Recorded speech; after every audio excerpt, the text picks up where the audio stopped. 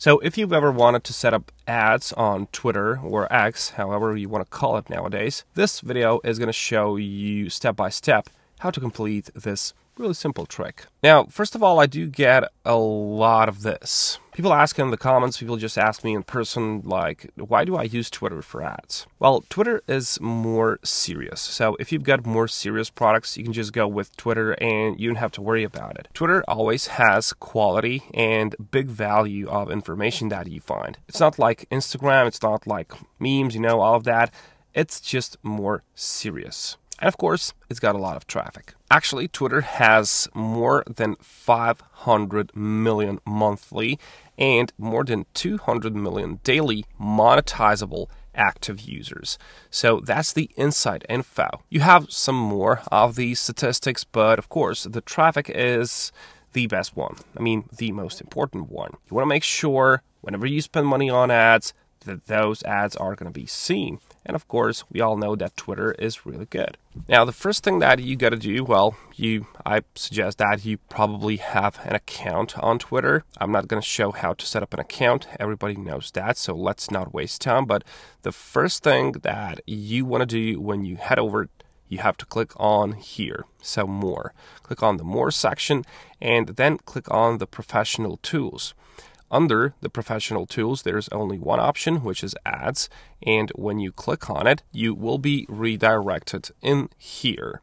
Now, this is going to be all about the keywords, you know, and they call it like bid on keywords relevant to your business. And that's a good thing because, of course, they have a lot of analytics and you can be sure that your ads are going to go in front of the audience that are interested in what you have to offer. So, that is why this is really, really effective. You see here that your ads will serve alongside tweets, replies, and search queries that contain your keywords, and that is really, really good for us.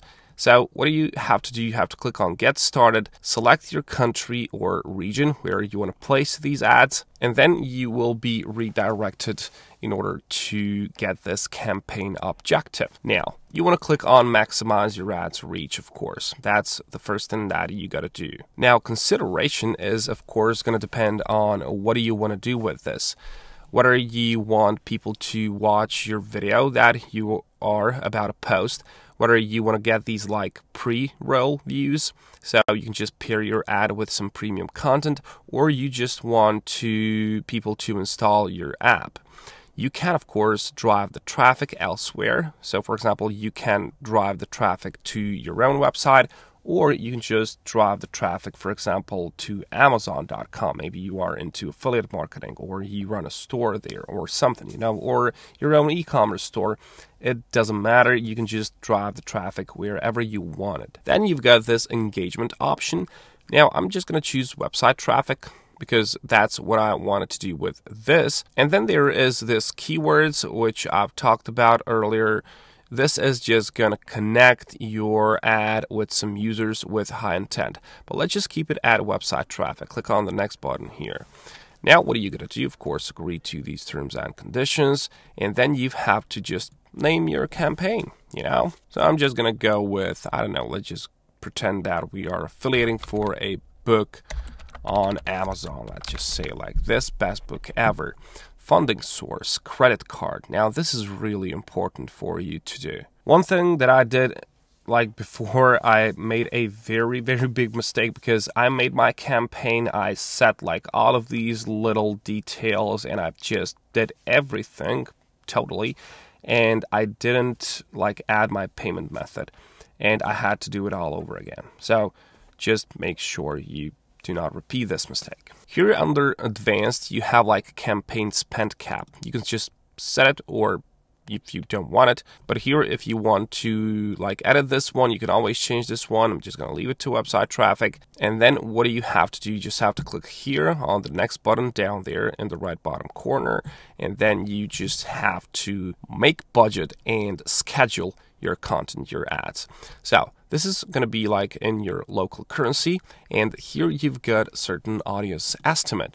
So based on your targeting selections, This is the estimated size of your audience over 30 days. So in 30 days, they will give you this amount of traffic to your ad. Of course, it's an estimate.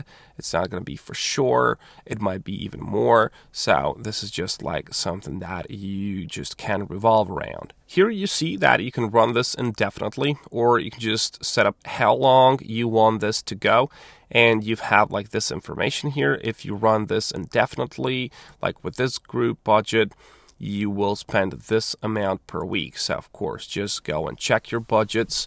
What do you want to do with this one? How much do you want to spend? That is totally up to you. And then this is really, really important. This is the goal. So, this is the delivery and goal of your campaign. So, site visits, you want this if you want to get like website traffic but of course this is all going to depend on what do you choose here. So before this one so i wanted to drive the traffic to my website so that's going to be it. Now there is an event and you can create new event. So you want people, for example, when they do something on Twitter, you can just like micromanage when this ad is going to be shown. So for example, you can install with this with pixel code. And this is where this gets like just a bit too much technical.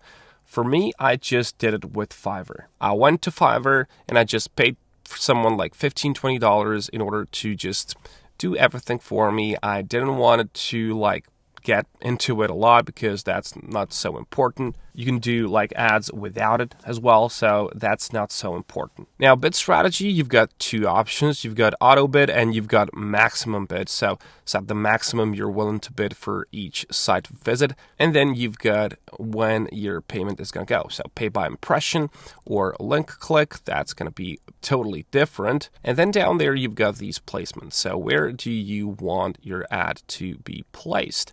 The more ad placements you select, of course, the greater your potential reach is going to be. Now, demographics, this is really, really important. Twitter is okay, like it's like 50 50 almost regarding male and female audiences, but of course, this is going to depend on your product a lot Maybe it won't, maybe it's like unisex or whatever, but you do have to choose like the age range. Now, this is going to be really, really important if you want to narrow down. You can see like the estimate is also going to be changed when you change like the age range, of course. And of course, the estimate will change if you choose women or men. As you can see, I don't know why is this the case, but it's almost like the double amount when you choose men, but this information says otherwise. But let's just forget about it.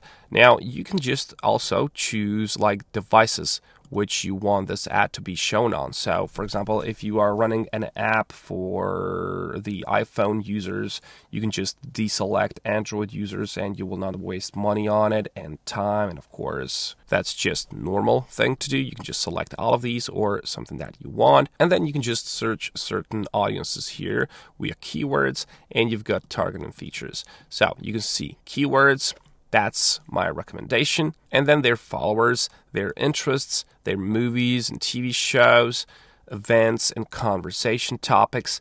This is really, really, really, really good. Now, when you do this, you will be redirected here to name your ad. You just name it whatever.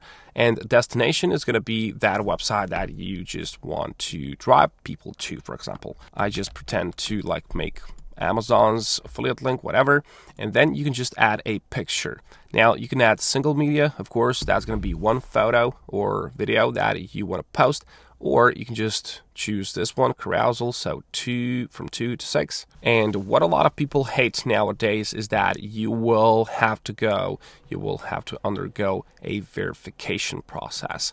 Now, in my honest opinion, this is good because there's not going to be like so many different and just bad ads everywhere. You know, you will have to go under verification, but you know, in most cases, it's going to work because, well, just Twitter wants to take your money, so they will not mind. They will look the other way if it's okayish, you know. So 95% of the ads are going to work. As you can see, they will complete the verification process in 24 to 48 hours, and it will just run on its own when the verification process is done. You just click on Got It. You've got all your info here, all that you selected, and you can now just let this to Twitter. You know, they will just complete this verification process and your ads will start running. That's about it. Not hard. You have to just think about these demographics and all these little details, but as I've told you, just add your payment method before so you don't have your own all process lost. All right. So that was about it. Have a nice day.